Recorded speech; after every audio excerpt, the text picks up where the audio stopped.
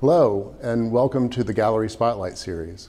My name is Byron Black. I'm an artist, designer, and educator from Irving, Texas. This week we are featuring the exhibition Ex Cathedra, currently on display through November 12th in the Focus Gallery at the Irving Art Center. You can still see this exhibition even after it closes on the website.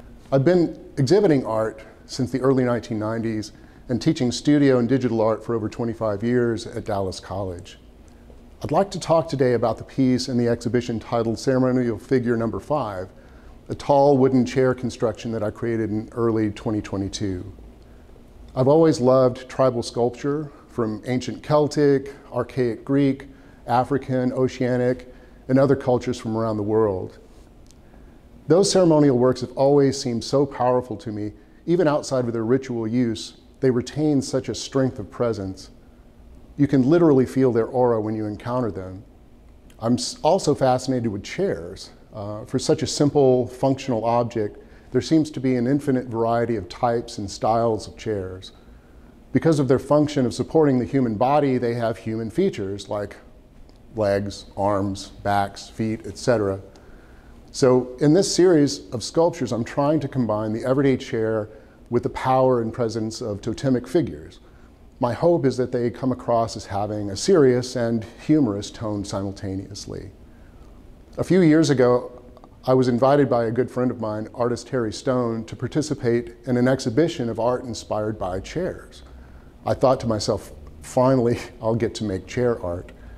Uh, I knew I wanted to explore the subject in three dimensions, so I set about looking for chairs that I could transform into sculptures, many of which I find placed on the curb on trash day recycling uh, is good and free art supplies are great, right?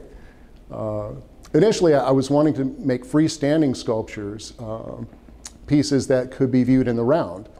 However, when I disassembled the first chair and laid the pieces out on the ground, I had an epiphany that I could make a seated chair appear to stand up. So I reassembled it in the form of a standing figure and hung it on the wall like a painting.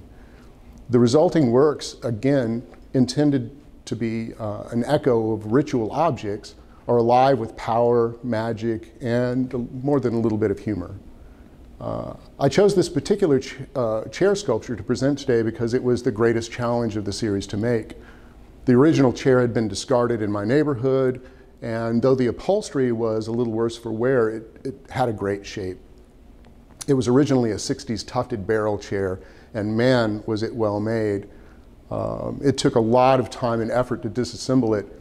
Uh, and once it was disassembled, I had an equally difficult time trying to find its new compositional structure. Uh, I finally settled on using the curved back as a large head shape, and the other elements soon fell into place. Uh, the springs that pre previously supported the seat cushion are now arranged as anatomical cardinal points, north, south, east, west, I tried to leave as many of the blemishes and scars on the sculpture to convey a feeling of age, soul, and evidence of the struggles of a long life of service, first as a chair and now as a guardian and protector. I invite you to come and view this piece and many more of my sculptures at the Irving Art Center through November 12th. While you're here, check out the other galleries full of great works of art. Thank you for joining me today. Visit again soon for the next Gallery Spotlight video.